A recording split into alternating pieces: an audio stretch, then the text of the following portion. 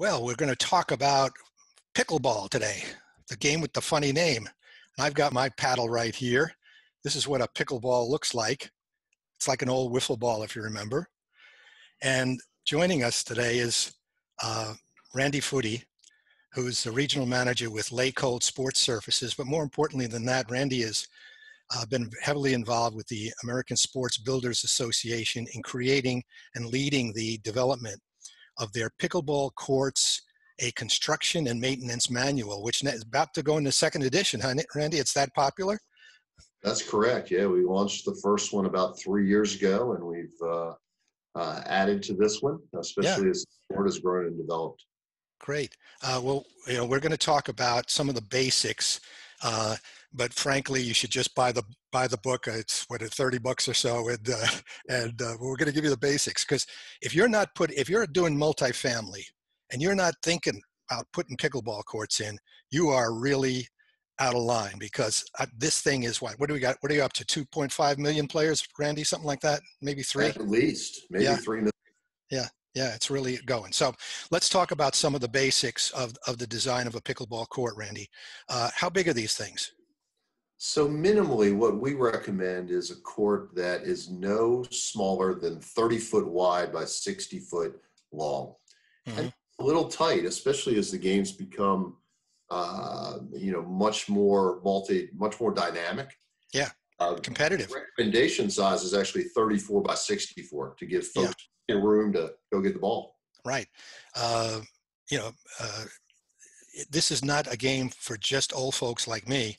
Uh, there, there are some tremendously competitive players. I mean, there's a there's a tournament that attracts about almost a thousand people every year, uh, and uh, through the USA Pickleball Association, that's I mean, incredible level of, of play. But I've seen I've seen great play just in, in neighborhood play and the school kids are doing it they take it for a uh, they take it for a gym course so it's it's really becoming popular so 34 by 64 uh, you, have got you know this thing gets knocked around you got to put some fencing in uh, what what are some of the parameters of fencing you know for the most part because the ball doesn't bounce as high let's say as a tennis ball you can put in a shorter fence mm-hmm. uh, seen folks put in four foot five foot tall fences I think the standard in a commercial application is probably eight foot tall. Eight foot? Okay. Fence. Mm-hmm. Mm-hmm. Yeah. Okay. And give yourself enough room around the court. Yeah. So you can really probably, you can almost get two pickleball courts in for what you would do for a tennis court, right? A little yeah, bit, a little bit more. Actually, you can get four, and and the original uh, movement of building pickleball courts was to take underutilized tennis courts and either repaint them or, or reline them. Yeah, but now we're now we're building fresh in for the most part if we can. Right. Okay. Yeah. Absolutely. Okay.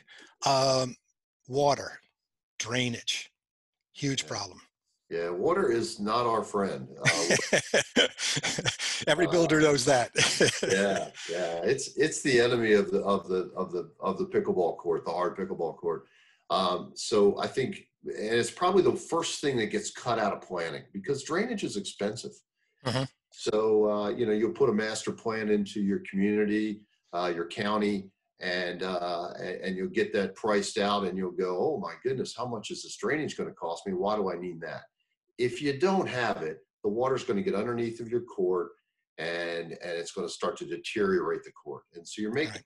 investment, spend a little bit of money to cut the water off at the high side of the court and and control it at the low side of the court. So if you're an apartment or condo developer, you want to not not be cheap on that on that aspect of it. Okay. Yeah, if you can help it, yeah.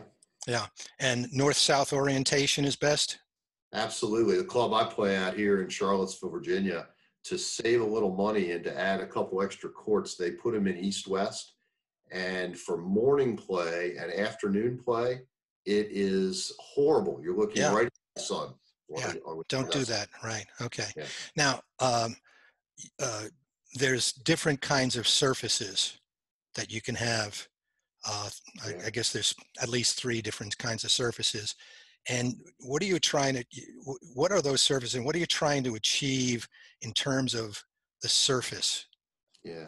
So for acrylic courts, hard tennis courts or hard pickleball courts in this case, what we're looking for is a surface that combines player comfort with performance. So the ball Mhm. to bounce at a certain height, you have to have uh, good footing uh, and interaction with the shoe and the court.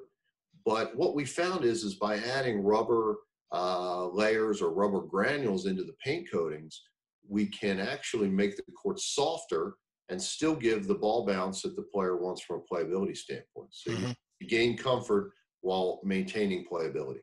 Yeah. So it's it's it's a balancing act there between comfort and and uh, how the ball bounces uh, in terms of That's the correct. fun of the play. Yeah. Yeah. hmm Yeah. I think budget certainly has a lot to do with it. Right? Yeah. What are we What are we talking about on cost, Randy? It's like pricing a car, right? Yeah. Uh, You can get a car in the marketplace. Let's talk. Let's talk range. Let's talk range and ballpark. Okay. Yeah, yeah. It, for the most part, a single pickleball court uh, is going to be in the twenty-five to thirty-five thousand dollar range. right. But I've seen courts that are hundreds of thousands of dollars, depending on earthworks, drainage, lighting, Oh, uh, all kind of crazy things that people will do. So okay. Yeah. And we didn't talk about lighting. Do you recommend lighting? Uh, what's What do you think about lighting? I think it's great, especially as folks are working more uh, and families are working more. If you have lighting, you can obviously play at night, so you extend your your your your usable time for that court from whatever seven in the morning till maybe ten or eleven at night. Yeah. Any LEDs? What What uh, What What What do you recommend in terms of the fixtures and so forth?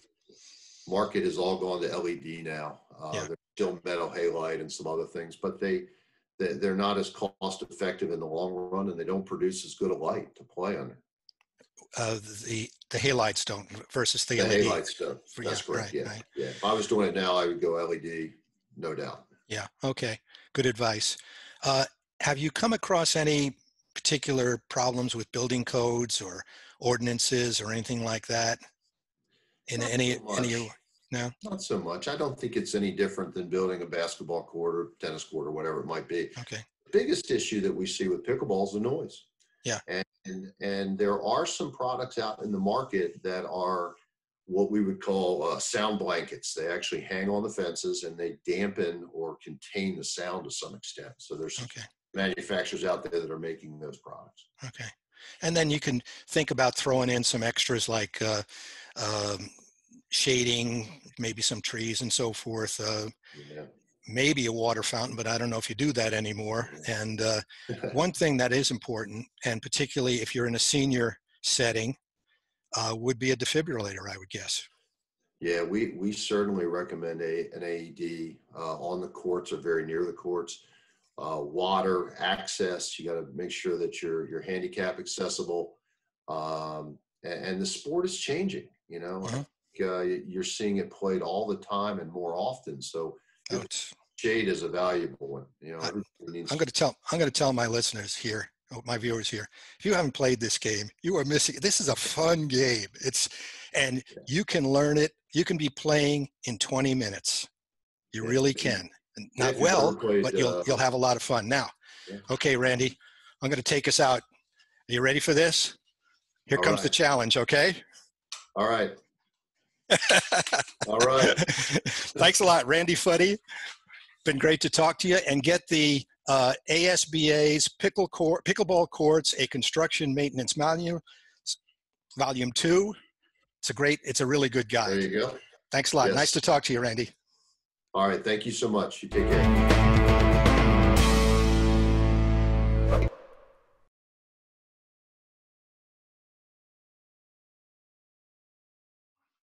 Okay, we've got a little extra bonus for you today. Uh, we're going to show you a little little trick that uh, a guy named Johnny Storm does. All right, but anybody can do this with a with a pickleball paddle. You know that's that's kind of easy. Okay, the trick is, can you do it on the edge like this? Oh my God, how many times can you do it? It's, it's really hard. Most people can only do about six at the best. You have